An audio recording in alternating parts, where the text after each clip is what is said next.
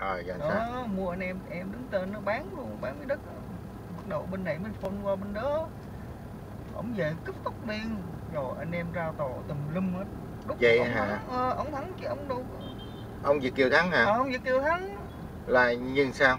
Cũng như là ổng mua cho miếng đất ông em đứng tên anh hiểu không? Ờ. Đó, ông em bên đây cũng cờ bạc quá rồi bán đất.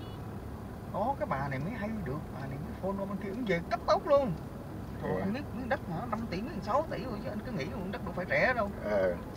Hồi đất đang sốt nữa hồi đó ông mua có 2 tỷ mấy 3 tỷ à, thì chỉ Ừ. ông em bên đây làm ăn mà trong kia ông giúp biết bao nhiêu luôn á. Ờ. Rồi anh em hả tranh nhau ra tòa tùm lum hết rồi rốt cuộc ông anh cũng thắng.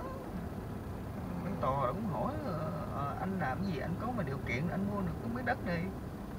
Kia ngậm mấy tụi kia nó giành nữa hả? Ờ, ờ, ông em ông ý ông muốn chiếm đoạt cái, cái miếng đất ông bán anh hiểu thì không? đó. Thì đó rồi cái ông Việt Kiều mới đi thưa hả? Ông Việt Kiều cứ ra tòa tùm lum hết á. Vậy đó hả? Ông Kiều cũng thành ông biết sao kiểu như ông bức xúc rồi ông cho ông cái tiền nữa.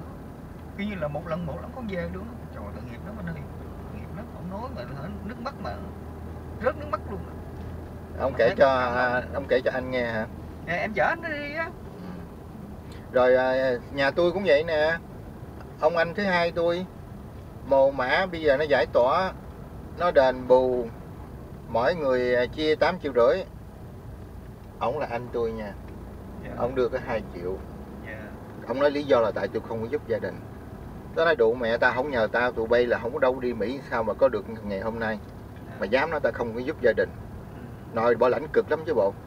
Người ta sẵn sàng cho 50 ngàn trăm ngàn đi được mỹ mà tao làm miễn phí cho năm sáu người.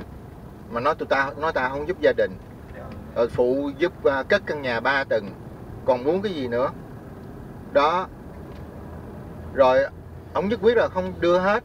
Ờ ông đưa hết tôi vô nhà ông chửi la lớn lên cho người ta biết. Đó. Rồi tôi đi kêu ông quyện ông quyện xuống kiếm ổng. Ông quyện à, ông không có đó. Rồi tôi kêu bà bà chị dâu đi à, thưa ổng mới được. Không biết thưa được không ta? Hiểu không? Và ông ở nhà nước cũng ẩu nữa. Theo lẽ là đưa đưa tên người nào phải đưa đầy đủ người nấy. Dạ. mà nó đưa đưa ổng à. Hiểu không? Đúng. Chia ra điều thì có tên tôi mới đưa tôi thôi. Dạ, dạ. nhà nước